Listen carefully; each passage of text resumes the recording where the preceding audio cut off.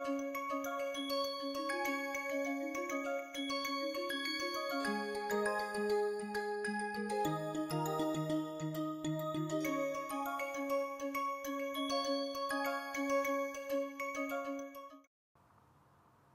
to today's class. So, we are in module 3 and this is the fourth lecture and till now we have been learning about image classification and we have learnt that it consists of two steps. Number 1 is recognizing or identifying real world objects and again by real world objects I mean the features like vegetation, water body, built up area and so on. And the second step is labeling of pixels to be classified. And till now we have understood about supervised classification and we also saw three classification techniques that belong to supervised classification. So, in today's lecture let us understand about the second category of labeling pixels that is unsupervised classification. Before we discuss about unsupervised classification just for a change let us view how it is carried out using SNAP that is Sentinel application platform now uh, SNAP is a common architecture for all the Sentinel toolboxes and um, you shall be getting acquainted with SNAP uh, throughout the course of tutorials. Okay. So, let us see how unsupervised classification is performed here. So, whatever you see here the image towards your right side is a false color composite that has been created using synthetic aperture radar image I directly point at unsupervised classification and I can see that two methods are specified EM cluster analysis and k-means classification. I am specifying the number of clusters and the iterations.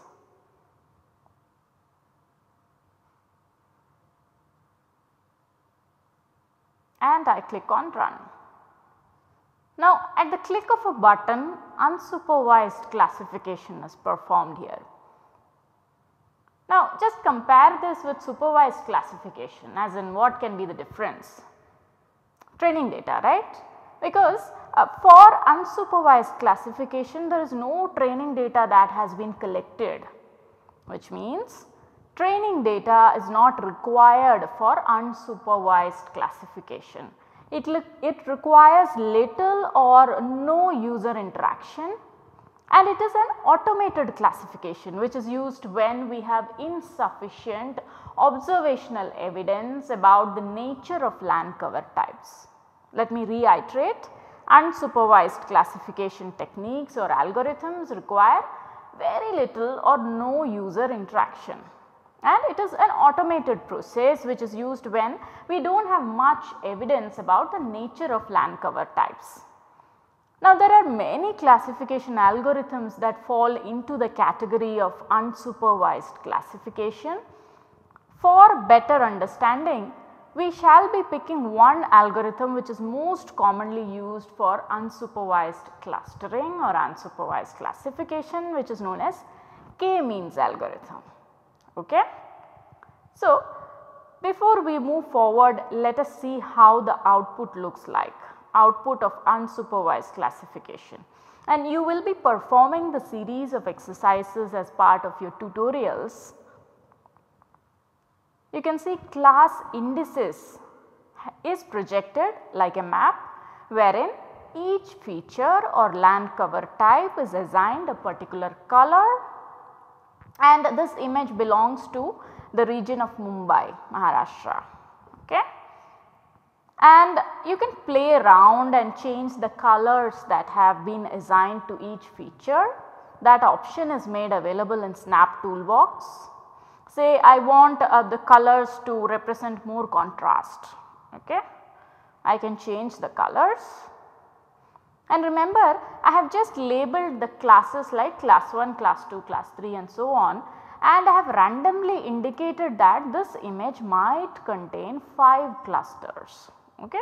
I do not know how, how many clusters it exactly contains, but then I have just randomly put a number 5 to show you how unsupervised classification is performed. And you can see the final classified map in front of you wherein each pixel is assigned a numerical label and a color is assigned to each pixel so that all the pixels of class water body will be represented by one single color and all the pixels of say some other category say urban built up area will be represented by another color and so on. Remember there is no training data collection required for unsupervised classification. Now what we will do is let us learn a little bit in detail about what exactly k-means clustering does. So um, K-means clustering is known as one of the most commonly used non-parametric unsupervised clustering algorithms and it is known for its efficiency in clustering large data sets. And it typically consists of two steps, okay, very easy to follow. First of all, uh, you have to locate the initial cluster centers. So, I will be making an informed guess about the initial cluster centers and then just like what you did for minimum distance to means classification, the distance of each pixel from all the existing clusters is computed and it is assigned to the cluster yielding the minimum distance. Then what happens? You have to recalculate the cluster centers because now few more pixels have been assigned to the centers they are bound to change when you take the mean it will give you a different value. So, it requires minimization of something known as an objective function within the cluster sum of squares. Okay? So, once again K means clustering the first step is we locate the initial cluster centers randomly you can pick the pixels and, and assume that it signifies cluster center or you can follow a well planned approach to pick up pixels at say definite sampling. Okay. And after that once you assume that the cluster centers are located then you calculate the distance of each and every pixel from these existing cluster centers.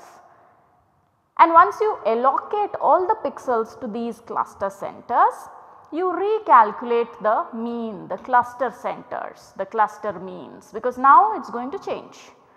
So, this um, uh, what it is done um, is nothing but minimization of the objective function. Okay. Here C refers to the class, N refers to the total number of samples, B and D refers to the band. Okay. So, you are doing minimization of an objective function. Now remember in general all the pixels are going to be classified based on their distance from the cluster means. And once this is done the new mean vectors for each cluster is recalculated, recomputed and this process is going to be iteratively carried out until there is no variation in the location of cluster mean vectors between successive iterations. So, let me try to summarize the explanation in the form of a flowchart. Say if you are given the task of writing a program in Python to perform k means clustering. First step is you locate the initial clusters, then you compute the distance matrix which means the distance of each and every pixel from these cluster centers you assign these pixels to the closest cluster, you calculate the objective function, you check whether the termination conditions are satisfied. If yes, you proceed ahead, if no, you go back again compute distance matrix and then you recalculate everything until the termination conditions are satisfied. If yes, if the conditions are satisfied you move ahead you can merge obtained clusters based on a suitable criteria because you know as I mentioned earlier uh, you are making an informed guess to the number of classes the image shall contain. So, in the in the example that you saw I have randomly put a number 5. it may be possible that I can even enter a number of 10 which will result in a classified map wherein there is a requirement to merge two or more clusters because they are spectrally similar. I am using the word spectrally similar. Okay. So, you can merge the obtained clusters based on suitable criteria and then finally obtain the clustered map. Now again I am going to reiterate because in k-means algorithm we assume that we know how many number of clusters exist. And remember there are many algorithms that belong to the unsupervised classification category and we are just briefly discussing about one algorithm, one such algorithm that is k-means algorithm. For example, you may have algorithms like ISOData. ISOData stands for iterative self organized data analysis techniques, ISOData.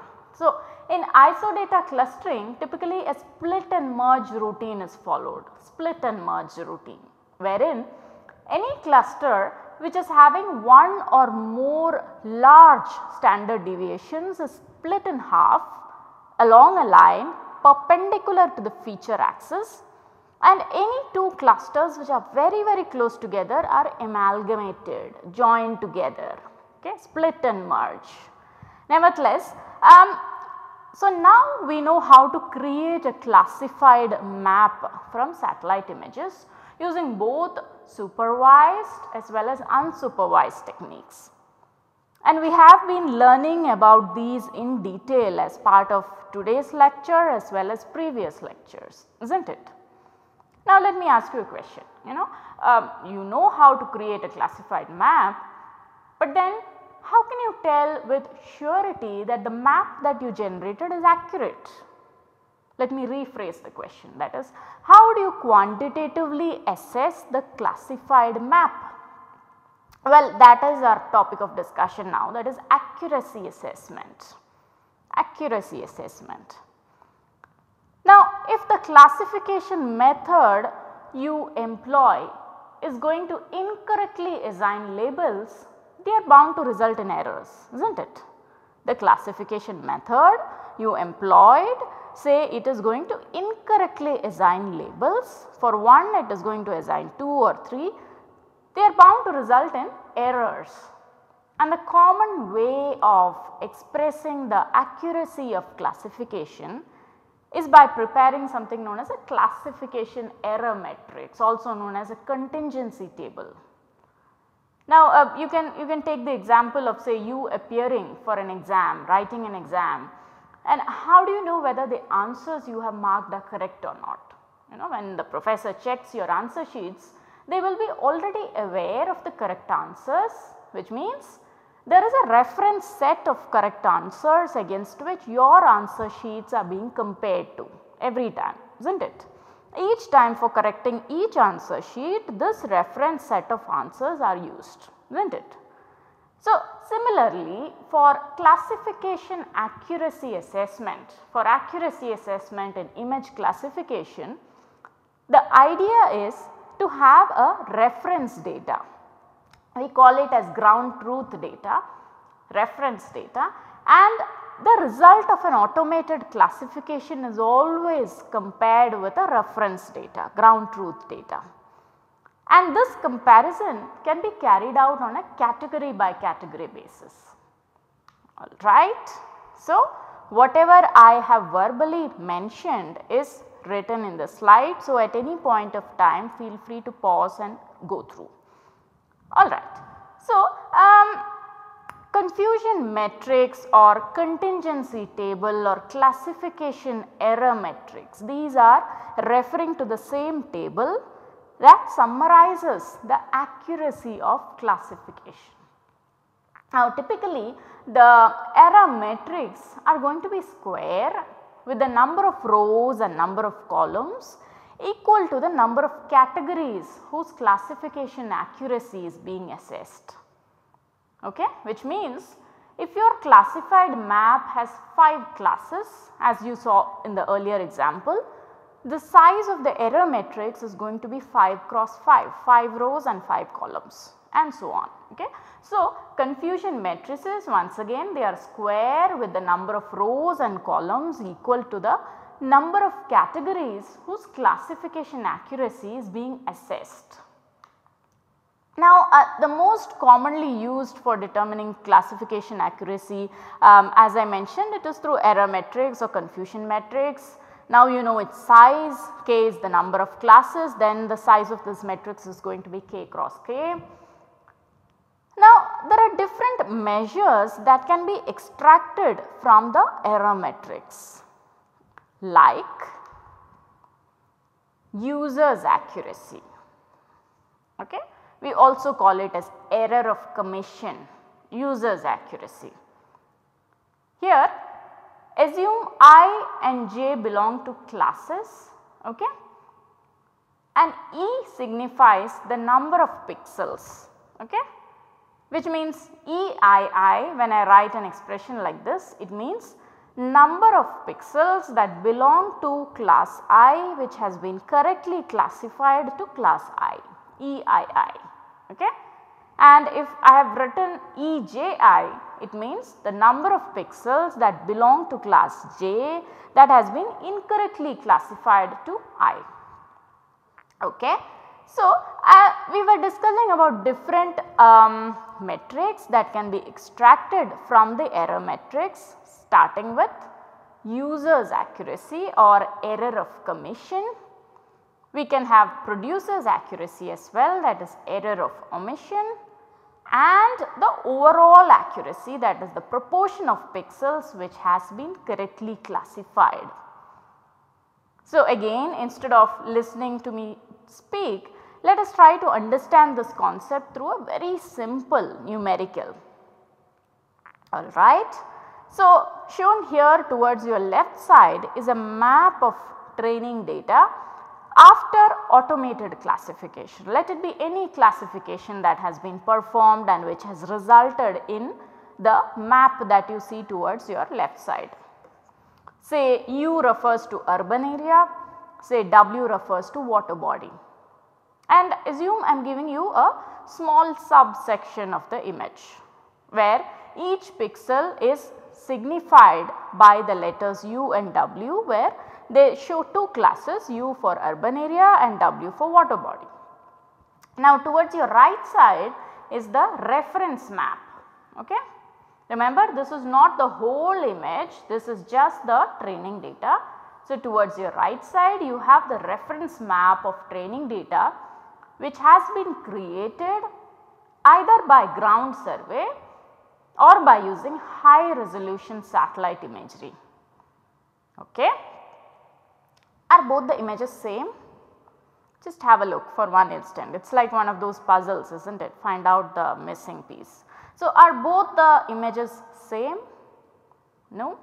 You can find that there are some differences especially in the first row first column where the output of automated classification says the pixel belongs to urban area category whereas the output of reference map says no it belongs to water.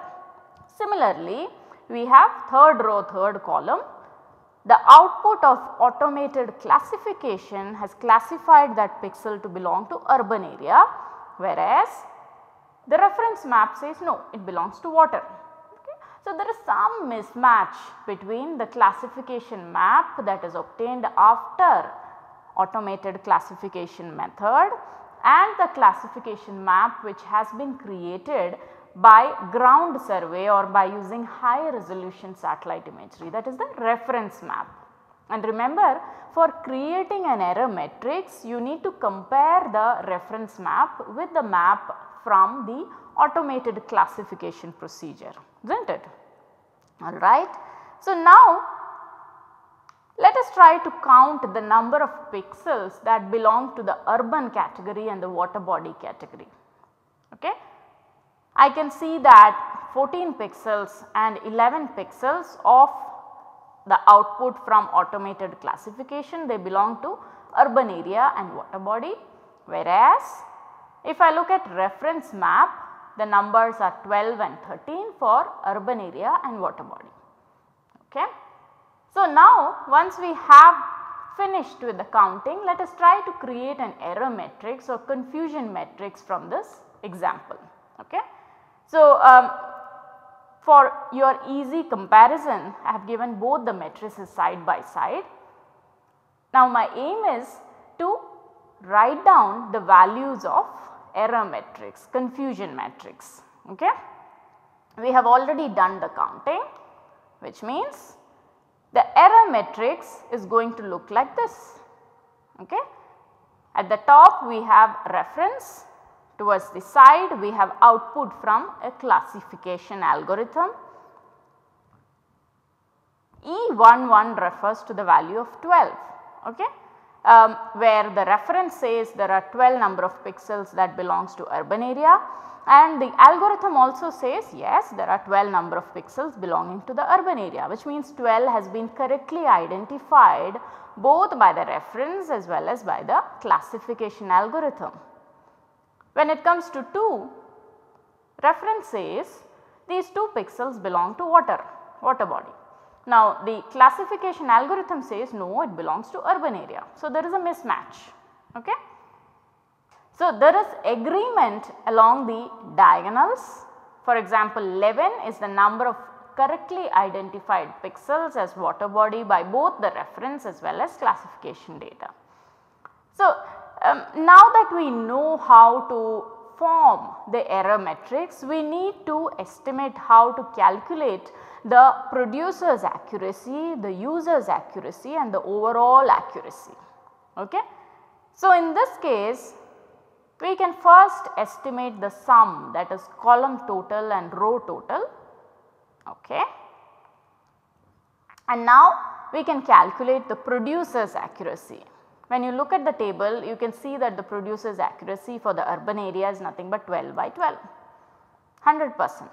Okay correctly classified pixels and the user's accuracy is going to be 12 by 14 okay, which means 85.7 percentage for urban area.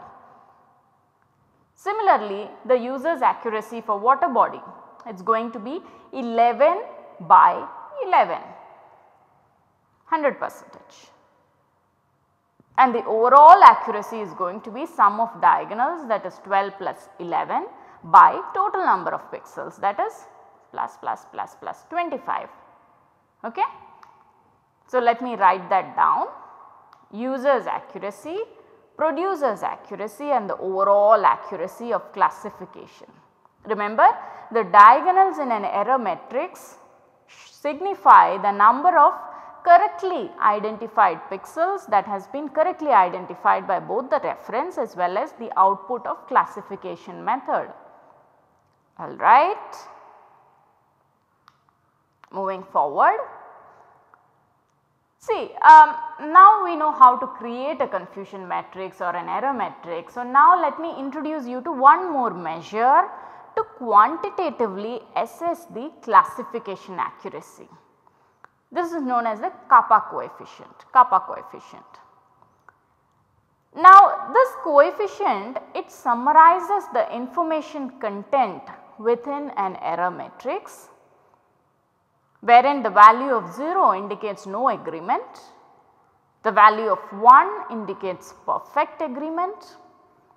And the values of kappa you know they are often cited with classification performances. You know whenever we need to compare the output from different classifier algorithms uh, the values of kappa are often cited when classification performances are compared.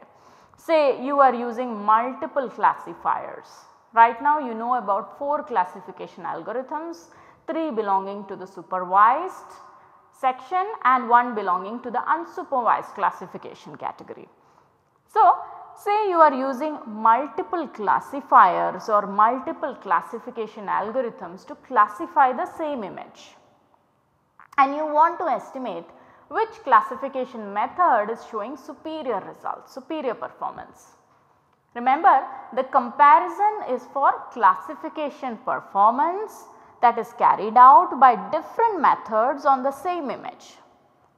Much similar to many students in a class attempting the same question paper, okay, same satellite image subjected to different classification algorithms resulting in different classified maps and then you wish to estimate which algorithm performs best alright. Now uh, just to make things clear let me show you another example of tabulations in an error matrix or confusion matrix. This time it is for 6 classes okay, water, sand, forest, urban area, paddy, sugarcane. Okay, 6 classes which means the size of the error matrix is going to be 6 by 6. Okay. I have represented training data set of known cover types and then classification data. Okay. So, every time I tabulate the error matrix, I try to estimate the producer's accuracy as well as the user's accuracy and of course the overall accuracy. Alright.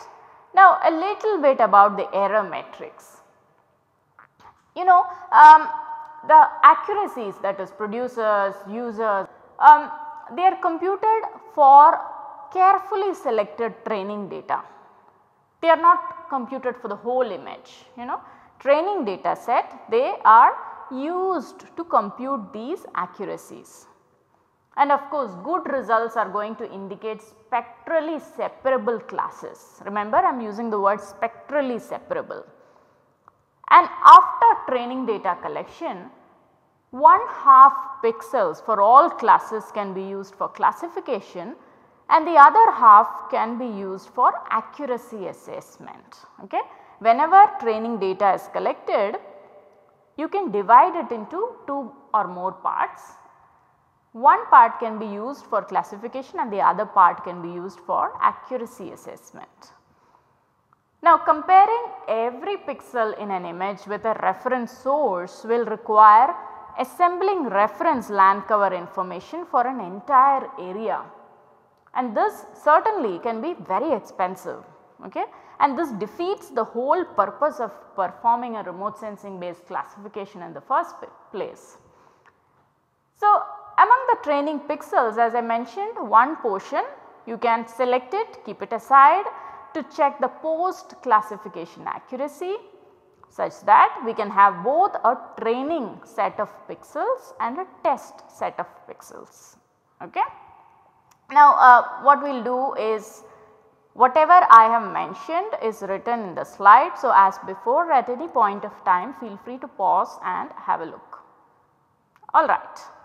So, with this background let me try to show you results of a case study now. Okay. So, as we discussed in one of the earlier lectures, this research work was conducted for the study site located in parts of Guntur and Krishna districts of Andhra Pradesh. So, what you see in front of you are 3 sets of satellite images.